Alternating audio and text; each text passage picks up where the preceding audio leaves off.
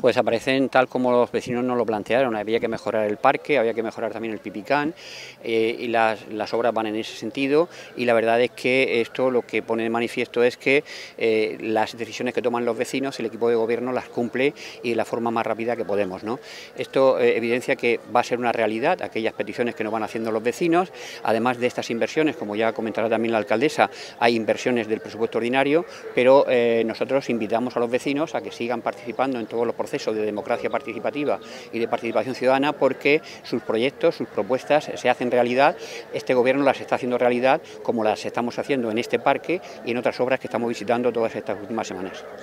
Bueno, es una remodelación del Parque de la Compañía, de uno de los parques que más uso tiene de Molina de Segura, más histórico y más emblemático y, que, más vienen los vecinos a disfrutar. En extensión es el más grande también, por lo tanto era, era necesario hacer esta inversión. Una inversión hacía casi 30 años que no se invertía en el Parque de la Compañía como se está invirtiendo ahora, casi 600.000 euros para esta remodelación y va a consistir en, toda la parte de abajo del parque, transformarla, modernizarla, cambiamos todo el sistema de parque para niños, para jóvenes, eh, todas las pistas deportivas también. Atendemos a, las propuestas de los vecinos a través de los presupuestos participativos y toda esta zona eh, del parque que, está, que colinda con el, con el auditorio también va a ser remodelada. Es una actuación muy importante, casi 600.000 euros, insisto, en, en inversión en el parque de la compañía que lo va a transformar totalmente para que siga siendo lo que ha sido siempre, una zona emblemática de nuestro municipio y para que los vecinos puedan seguir disfrutando de, de estos paseos que nos permite este gran parque,